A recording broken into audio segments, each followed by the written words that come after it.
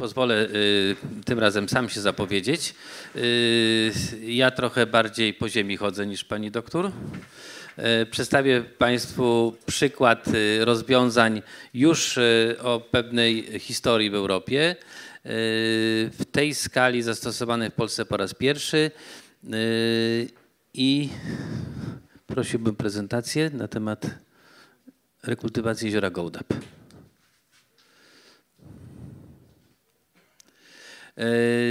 Studium przypadku, rekultywacja jeziora Gołdap. Tutaj oczywiście y, zabieg rekultywacji, który jest przygotowany wspólnie z y, gminą, to jest rodzaj triatlonu. Myśmy przygotowali podstawy projektu w 2007 roku. Mamy już ponad 10 lat, ale oczywiście dobiegliśmy do, do celu. Y, Tutaj przykład y, naszych, y, naszych pierwszych analiz, pierwszych badań. Jeszcze pod lodem jezioro było w stanie tak zwanej politrofii. Pod lodem brakowało tlenu. Y, Więc y, oczywiście na szczęście nie dochodziło do tak zwanych przyduch. Y, Ryby miały możliwość, że tak powiem, sch- schronienia się w pobliżu ujścia rzecznego, gdzie tego tlenu było wystarczająco dużo. Tu oczywiście mapka ze stanowiskami badawczymi. Jezioro Gołdap jest dosyć, dosyć specyficzne, bo tu szukam koralika, ale tu go nie widać pod tym kątem. E, Jedna część, jedna czwarta jeziora znajduje się po stronie rosyjskiej. Zaraz pokażę to dokładniej na mapie. E, Te czerwone punkty to są stanowiska badawcze. Już e, tego samego roku przeprowadziliśmy testy z e, glinką bendonitową wzbogaconą lantanem. To jest preparat o nazwie handlowej Foslok, ale może nie o to chodzi. Lantan, który jest wbudowany w bentonit, ma bardzo e, specyficzne e, działanie. Łączy się z fosforem e, i tworzy nierozpuszczalny minerał, rabdofen, który nie jest podatny na działania ani niskiego potencjału redox, ani różnicy pH wysokie i niskie. Jest bardzo, bardzo stabilny. E, Nie chcę tu wnikać e, w procesy zachodzące przy stosowaniu innych substancji do ograniczania fosforu w jeziorach, jak związki glinu, związki żelaza, które są powszechnie stosowane na, w technologiach oczyszczania ścieków. W przypadku technologii ograniczenia fosforu, techniki w Polsce stosowane w zasadzie nie odbiegały metodami stosowanymi na oczyszczaniach ścieków, z tym, że te dawki były zdecydowanie, zdecydowanie niższe. No dla przykładu wiele jezior mazurskich e, było mm, rekultywowane e, związkami glinu. E, Tu na Pomorzu duży zbiornik Jezioro Trzesiecko, w którym braliśmy udział koło Szczecinka. Rekultywacja polegała na podawaniu o niewielkim stężeniu sierżanu żelaza, więc tutaj te techniki zbliżone były do redukcji. Co innego jest, jeżeli byśmy wnikali w zagadnienia związane z już zachowaniem się tego strąconego e, fosforu w osadach w różnych warunkach braku tlenu i niskiego potencjału redox.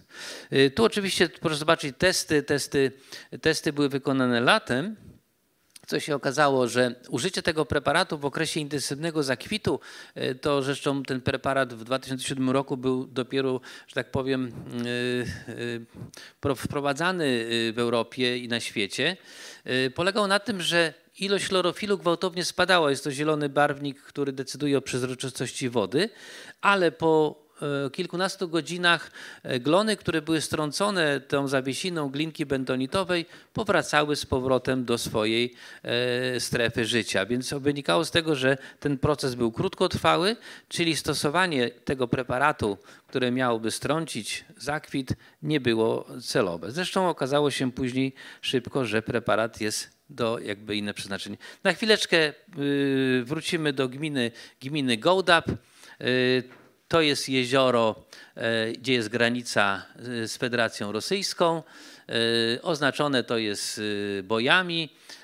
Zarówno Straż Graniczna Polska, jak i rosyjska dosyć mocno pilnują. Turyści, którzy przez pomyłkę przechodzą tą granicę, trafiają do Kaliningradu na 7 dni, z dosyć dużym rachunkiem wracają z powrotem. Jezioro ma w Polsce prawie 150 hektarów, 50 hektarów jest po stronie rosyjskiej. E, I tu oczywiście migawka z Gołdapi. Nie ma burmistrza, kazał Państwa przeprosić. Y, y, pan Jacek Morzyk bardzo chciał być dzisiaj na naszym spotkaniu. Y, przez 10 lat, jak żeśmy rozpoczęli projekt, gmina wykonała bardzo dużym wysiłkiem e, instalacje do odprowadzania wód deszczowych, kanalizę, rozbudowę oczyszczalni ścieków.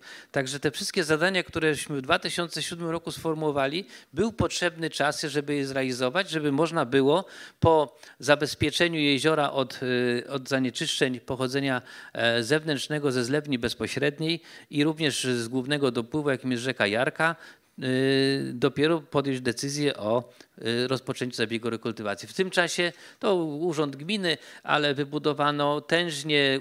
Gmina Gołdap jest w województwie warmińsko-mazurskim jedynym uzdrowiskiem, więc y, praktycznie, żeby utrzymać strefę A uzdrowiskową, ważnym elementem było uzyskanie dobrego stanu ekologicznego jeziora, e, mm, więc to było istotne. Oczywiście gmina Gołdap to takie stańczyki, znane, znany obiekt, y, miejsce, mm, tu na dole z pochówku ślady I wojny światowej, gdzie zarówno y, y, wojska pruskie i cara Mikołaja były chowane w tych samych obiektach. Y, wieża ciśnień odnowiona jako miejsce, miejsce takiego centrum kulturalnego.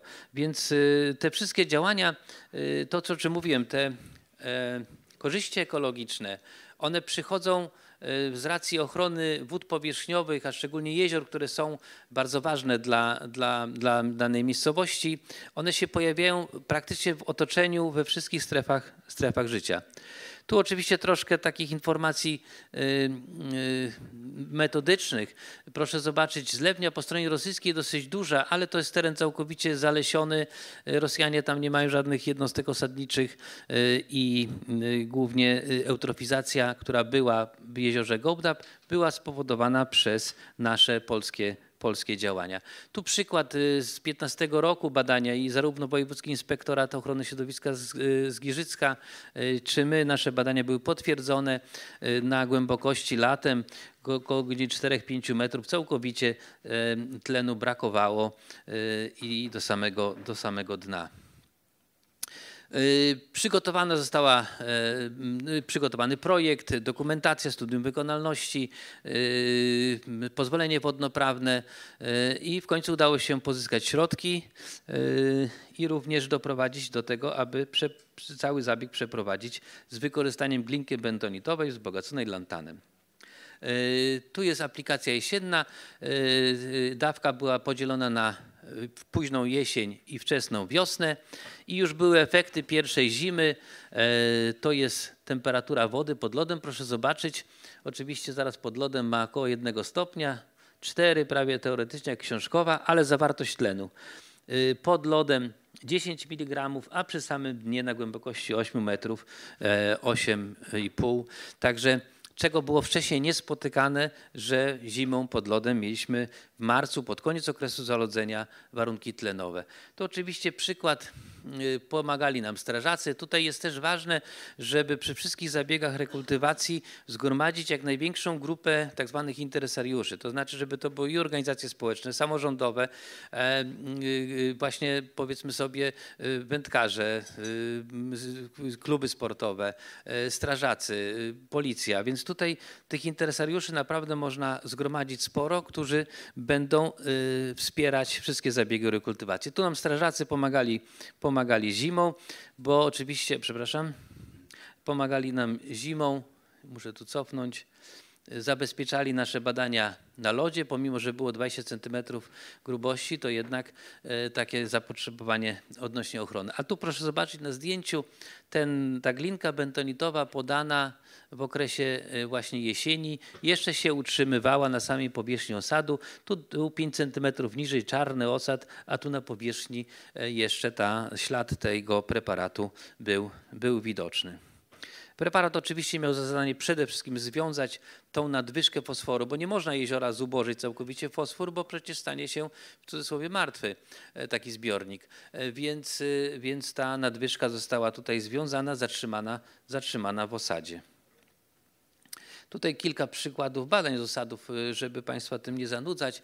Tutaj przede wszystkim przed aplikacją mieliśmy sytuację taką, że te formy które były biodostępne, e, one tu zdecydowanie zmniejszyły swoją ilość, to są te bary, czy to samo substancje, które troszkę odpowiedzialne są za, za, y, za kwity sinic, e, to jest taka forma fosforu, która zdecydowanie w większej ilości występowała właśnie, właśnie y, przed, przed aplikacją. Tu szczegółowe badania są fosforu, różne formy e, w różnych, w różnych konfiguracjach. No i aplikacja wiosenna. Przedsięwzięcie logistyczne dosyć skomplikowane.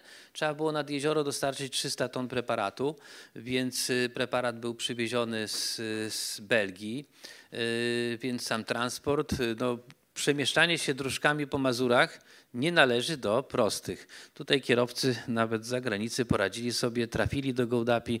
E, tu są na sali też również pracownicy firmy Biopro, którzy brali aktywny udział w tych zabiegach. No i oczywiście później badania letnie, dla nas też ważne. Y, temperatura pojawiająca się z początki stratyfikacji termicznej, ale tego tlenu praktycznie do 10 metrów jeszcze było w granicach 4-6 mg. Dopiero przy samym dnie nad osadem tego tlenu się zmniejszyło, ale nie spadał do zera czy do 4, y, na 4 metrach do, do tutaj do y, jednego czy, czy 0 miligramów. Także zarówno latem również był ten efekt ekologiczny osiągnięty. Tu przebudowa całego, całej grupy zooplanktonu. Owszem, występowały jeszcze sinice, y, afanizomenon, oscylatoria, ale w innych układach y, niż wcześniej. Skutkowało to lepszą jakością widoczności wody, pojawiły się inne gatunki e, zooplanktonu, a jednostki, tu może słabo widać tego fosforu, to y, norma jest y, y, początku eutrofizacji od 500 fosforu w wodach powierzchniowych. Tu mieliśmy wartości 0,2, 0,3, więc 0,3, więc to wszędzie były te wartości całkowicie akceptowalne, akceptowalne w wyniku zabiegu rekultywacji. No i tutaj taki przykład już na zakończenie. W tym zabiegu również walczymy o pewną strategię rozwoju makrofitów. To jest, y, y, tu pani Kasia o tym też wspomniała, stworzyliśmy warunki, żeby te makrofity się rozwijały, a tutaj poniżej to samo miejsce rok wcześniej z dużym kożuchem sinic e, przy kąpielisku. E, w tym roku kąpieliska były czynne, otwarte, e, dobrze rozwijały się organizmy bentosowe. Tutaj ten S. floresy to są aktywne małże, które po prostu ryją w dnie. I oczywiście tu makrofity, które zasiedliły tą strefę płytkowodną, dając siedliska rybom i stwarzając również dogodne warunki do schronień dla innych drobnych zwierząt. No i dziękuję za uwagę.